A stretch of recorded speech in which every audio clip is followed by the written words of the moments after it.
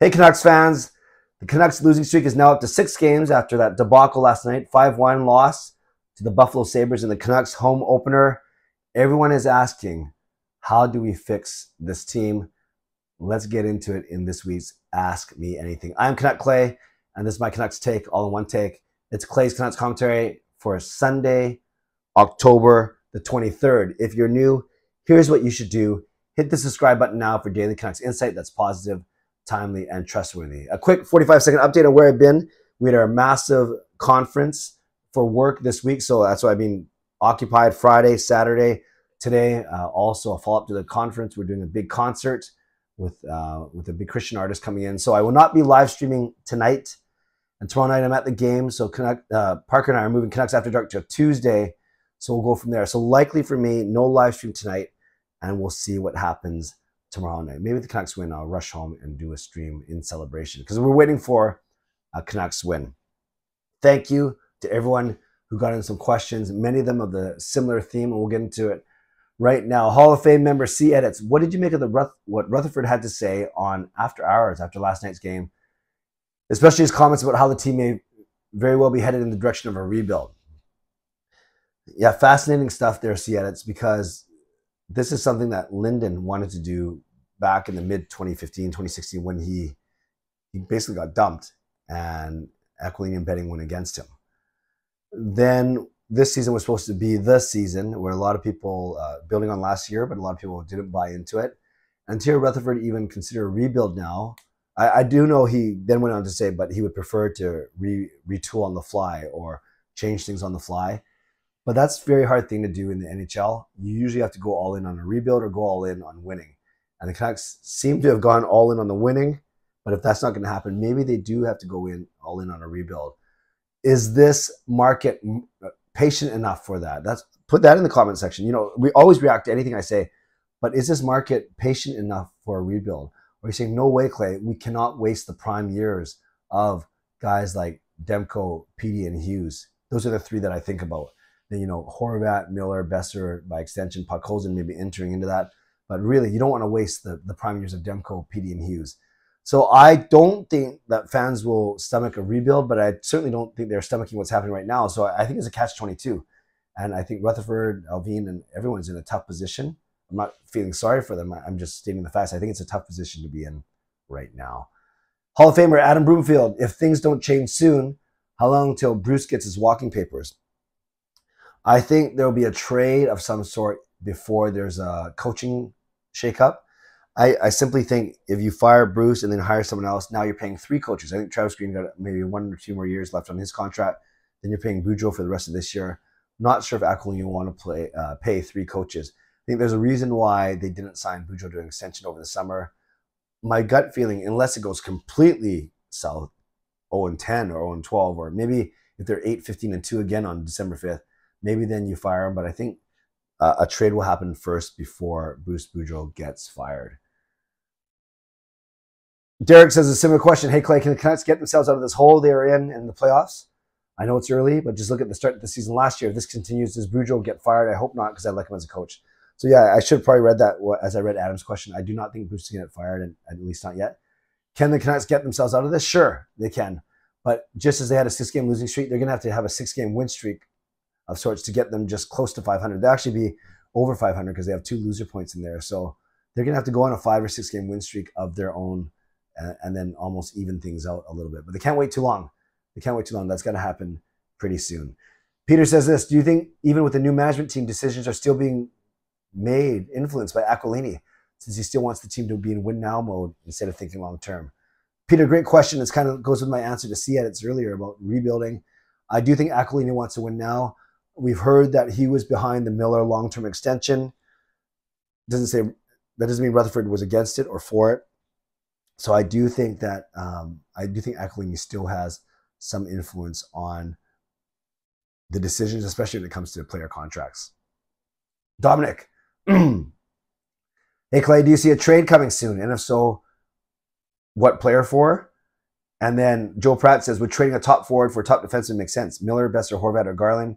Is it wise to make that trade that we lose in the short term but win in the long term? And then he says, Have you ever played donkey baseball or American ping pong? I have to look up uh, this just shows that I, I do this spontaneously. I don't know what donkey baseball or American ping pong are, um, but I've played baseball like a donkey before. And I have to look. Up. You know, I'm going to take 30 seconds right now to look it up as I'm doing this video really quickly. Donkey. I hope nothing bad comes up on my computer here. Donkey baseball. Uh, no, I've never played baseball with a donkey. It actually truly is baseball with a donkey. So that's a definite no. An American ping pong. Am I American ping pong? Is American ping pong table tennis? Then if that's the case, yeah, I played all the time. We have a we have a table in our backyard, but maybe I am missing something. Okay, more importantly about the trade. Yeah, I think I think if Garland, you know, he got sat once. If Boeser continues not to produce, uh, I don't think they're trading Miller, even though his no trade doesn't kick in the next year. Horvat's the interesting one to me because if for some reason the Rutherford Allvin think that now's the time to part with him, then yeah, you could get decent assets for him. And he's the one without a contract going forward. So, uh, and we thought that he was going to get signed. All the talk was he's a priority. Maybe things have changed there. So, um, originally I would have said Garland, but maybe Horvat would be the leader of those four to get traded. And yes, if it improves the team, especially on the defense, I would definitely look at doing that for sure. Now, I don't know who we would trade for. I don't know who who's in the need of a third line center or second line center in some eyes for for Horvat or in first line center in his his uh, his agent's eyes. So to answer Dominic's question, I don't know who we would trade for. I definitely know we would definitely have to trade for some uh, some defensive help, especially on the right side, and then maybe you're sending away a defenseman and maybe a player like uh, like Horvat or Garland. I don't know that. I just have a feeling that if they do a trade, it won't be that major. They'll try and do some cosmetic changes first, but um, desperate times do call for desperate measures. So that's a really good question, but it's so hard to to speculate on. Hockey fan 44. I'm sick and tired of this. The Canucks need to make some moves. Maybe they need to change their defense. Everyone is sitting there and blaming Demko for all of this. Yeah, he hasn't had the best start, but it certainly is not his fault. Maybe Boeser should go on Petey on a line. Yeah, a lot of people are advocating for this because Horvat's not the best playmaking center. Boeser needs a, a playmaking center. So if you reunite the Lotto line, get Miller going as well. So you can go Lotto line, then you go Horvat with anyone, with Kuzmenko, with Podkolzin, with McKay, with Garland, with Pearson. Um, and then your third line would be Lazar with a couple of those guys. And then someone like a Pearson, someone would have to drop to the fourth line.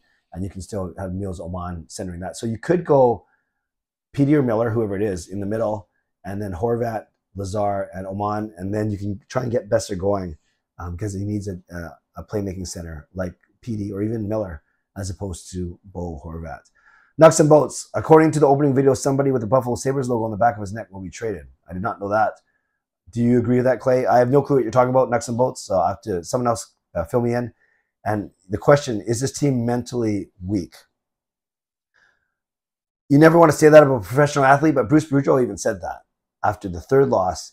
Yeah, I see it when you have Schenn and Miller fighting on the ice and Carl and Garland having to skate between them when you have them coming out for their player intros and not even smiling, not even excited to be there, not a lot of camaraderie, and they only have one goal to celebrate last night, I think this team is weak.